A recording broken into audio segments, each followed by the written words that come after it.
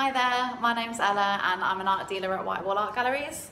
Uh, quick question today is why should you acquire a piece of art from White Wall and not from an auction at a lower price?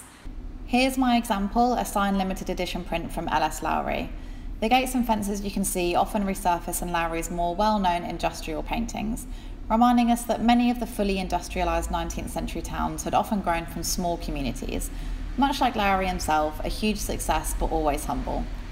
This piece is worth £6,950, so let's say you see it on an auction website for £5,000 and you're thinking, well, why would I spend an extra £2,000 to acquire it from Whitewall? The most important thing is that we can guarantee authenticity, which means should you ever want to sell this piece, you should get back what you paid for it, if not more. An invoice from us will be worth its weight in gold because you can guarantee that what you're selling is a genuine Lowry. I hope that made sense and just give us a shout if you have any further questions. Thanks.